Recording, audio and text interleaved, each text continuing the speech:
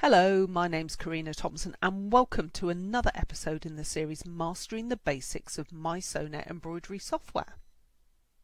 In this episode I'm going to be introducing you to the Encore feature.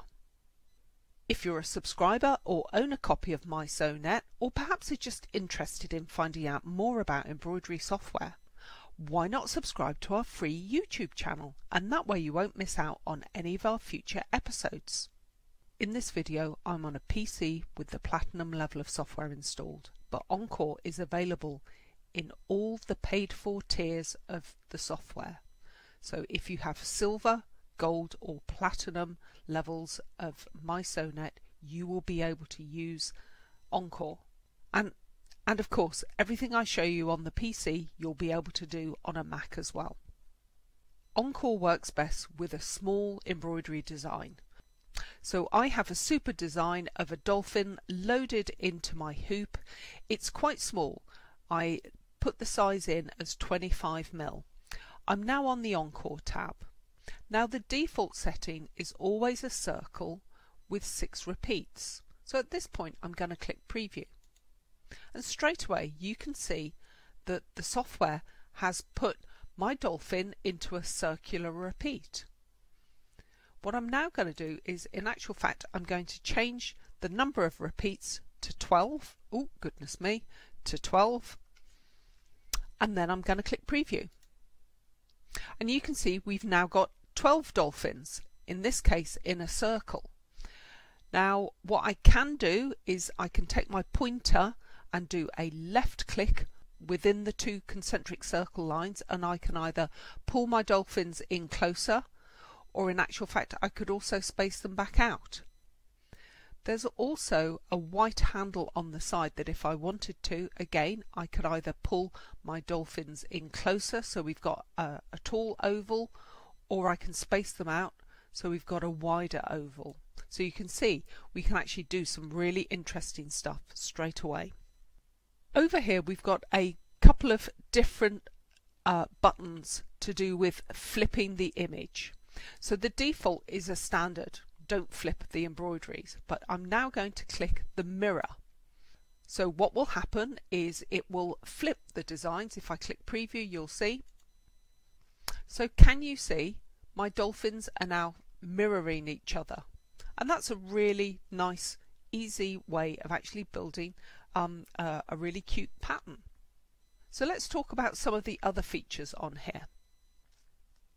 So I'm going to click on the line uh, button here and we've got various line options. If I click on the pull down arrow you can see we've got a range here um, but I'm going to start off with number two this wavy line. I'm just going to bring my repeats down to six because it'll be easier to demonstrate the next part and then I am going to click preview.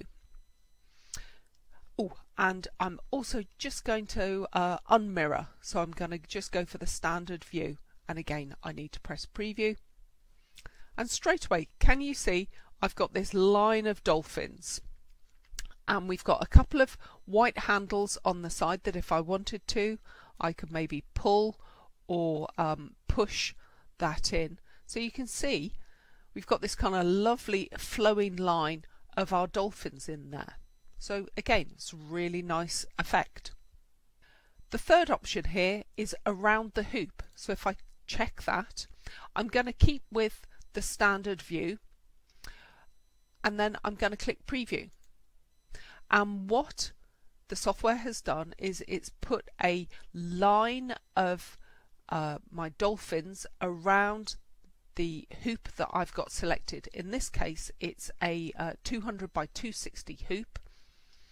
Now there's a couple of other things that we can actually do at this point. If we wanted to, I at the moment you can see this margin is quite close to the edge of the hoop. So what I'm actually going to do is I'm going to just bring this up to uh, 10 and then I'm going to click preview and you can see that that's brought those dolphins in 10 mil from the edge and if I wanted to as well I could click the remove corners and that will actually take the dolphins out that are in the corner and again I, if I click preview you'll see what I mean.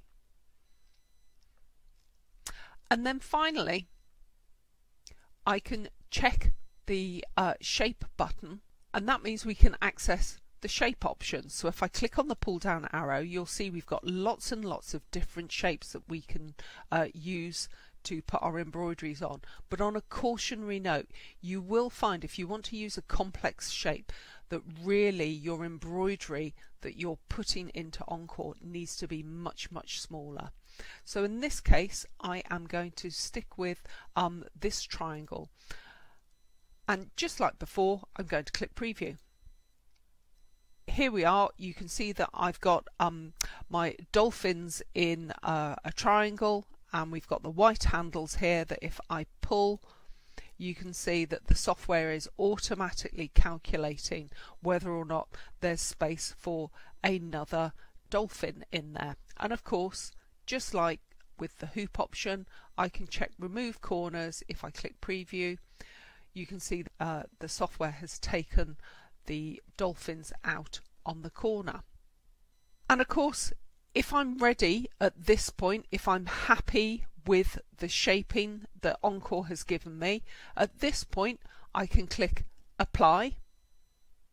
It's grouped because I've checked the group box, that's the default setting anyway, but I can now either use the send to MySewNet feature to either uh, send the design to my cloud storage or a Wi-Fi enabled machine or of course I could go file and export if I need to put it on a USB stick. But there are some other ways that we can actually use the um, Encore feature so let me show you. So it might be you say well Karina that's great the dolphins loved what was happening with them but are you able to take more than a single embroidery and use it in Encore? And of course the answer is yes. So I've got two um, super design embroideries here. Uh, we've got a wolf and a bear. They're both quite small um, in terms of their height. They're around uh, 25 mil. I've got my circle uh, button checked here. Now what I need to do is I need to select my embroideries first. So I'm going to click on my wolf. I'm going to hold down my control or command key and then I'm going to click on my bear. And that has done a group selection. Can you see we've got a dotted line? We've got orange handles which shows me the designs are grouped in some way but the dotted line is very important and I'll come back to that in a moment. And just like before, I'm going to bring the number of my repeats up to 12 and then I'm going to check preview.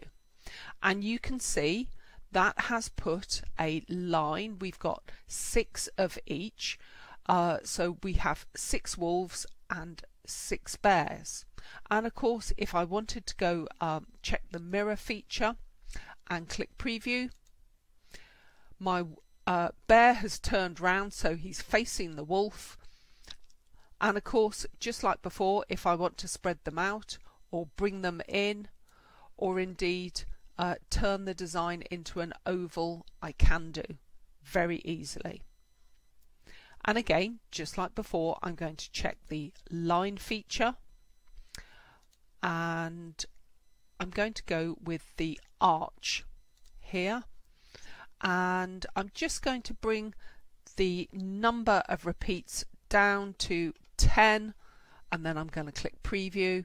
It's just like it's a bit of a squeeze with 12 and the let's go back to a standard view so they're all heading the same way hit preview and of course just like before I can either um, sort of squash my line down or spread it out depending on the effect that I want. I'm going to go to the hoop uh, button and I'm going to click preview and here we have a slight difference. I don't know if you can see what we've got. My wolf was the first of my two embroideries and the software has put my wolf in the corner and then we've got a line of bears running along the side. So of course if I remove the corners here and click preview I'm going to lose my wolves altogether. So let's just bring that back. But there is a way of using Encore and actually placing our animals together, our grouped embroideries together. And I'll come on to that in a moment. And again, just like before, I'm going to go to the shape. I'm going to stick with the um, equilateral triangle. And if I click preview, oh goodness me, that's because my remove corners is still checked. Let me just do that. And again, just like before, if I bring my handles up, you can see that it's placing the bears along the side with my wolves in the corner. So I'm just going to cancel that and we're going to go back to our two um, uh, original shapes. I'm just going to click off them because it might be you say, well, that's that's great, Karina, but that's just two. What would happen if we put a third shape in there? So let me show you. We've got the wolf and the bear have got a friend. They've got a deer over here on the clipboard. So I'm just going to paste that in and the shortcut for that is a control or command V. It's popped my deer in here and I'm just going to move the deer along so you can see we've got a, um, a, a, little row of our animals and just like before I'm going to hold down my command um, or control key and then I'm just going to click to select them all. Of course what I could have done was I could have gone to the home tab and gone select all. Let me just go back to the encore tab. So I've, I'm going to click the circle. Now because I've got three animals here uh, as a group selection because we've still got a dotted line. These haven't been grouped. Because there's three, my repeats are going to work best if they are divisible by 3. So I'm going to pop in, uh, in this case, I'm going to pop in 15 and then I'm going to click preview. And so you'll be able to see we've got five of each shape. And as usual, we can uh, squeeze them in, we can spread them out, we can turn them into an oval, and if necessary, although we are going to get an unusual effect because this is an odd number, we could mirror them. And of course over here, because it's an odd number, these two aren't going to mirror. So let's see what happens if we click on the line. And just like before, I'm going to uh, stay with line number six. Oh, goodness me, I did mean to. Let me drop my number of repeats down. Uh, let's go down to nine. I'm going to click preview and let me do a standard view and again click preview and just like before you can see that we've got our embroideries in a nice smooth um, uh, uh, curve there so let's see what happens when we work with the hoop. Just like before um, I've clicked the hoop and I'm going to click preview. And where's our deer? The deer's not there and the same is true if I click on the shape. And I'm going to stay with the, the triangle. Our deer isn't there. So if you do want to use multiple embroideries within Encore they will only work with a circle or the line format and it might be you say okay that's fine I understand that Karina but it might be you say Karina I really really want to use um, all three shapes within um, uh, uh, the hoop or a shape. So let me show you what you could do. So I'm going to cancel this out. Now can you remember I talked about the importance of the dotted line? At the moment this is a group selection rather than it being formally grouped. So what I'm now going to do is I'm going to do a right click and I've got the option here to group and now when I come back I can just like before I can uh, use a uh, circle repeat although I'm going to bring this down to 6 and you can see we've got our shapes going round there but in actual fact if you notice the line of them it's seeing those three embroideries as one whole embroidery you can see they're not curving round like they did before. And that's best illustrated if I go to line and for instance I choose one of the wiggly lines and click preview. Can you see we've got this zigzagging happening going on?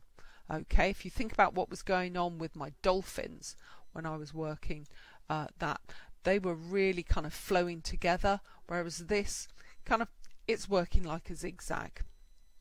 But if I wanted to, it is going to work in the hoop, although not as nicely as when it was just two animals. And again, I'm going to go with shape and the triangle and if I click preview, let's open this up. You can see we've got a bit more of an effect although what I would say is because it's seen these as long-sided shapes you might find that you get a better effect actually for instance going with something like uh, the hexagon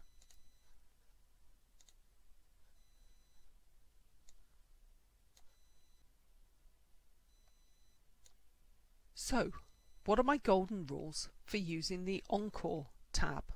The first thing I would say is make sure that you're using nice small embroideries. You're going to get the best effect doing it that way. I would only group a design if you really, really need to. If you need to use Encore for more than two embroideries, try and make sure that you're using the circle or the line feature. You're just going to get a much better effect. And most importantly, be playful and experiment with it. Try lots of different variations of your number of repeats, how close they are together. It's a great, fun, easy to use feature within the MySewNet software. If you found this a useful film, please give us a thumbs up and don't forget to subscribe to our channel so you won't miss out on any of our future episodes. Happy sewing!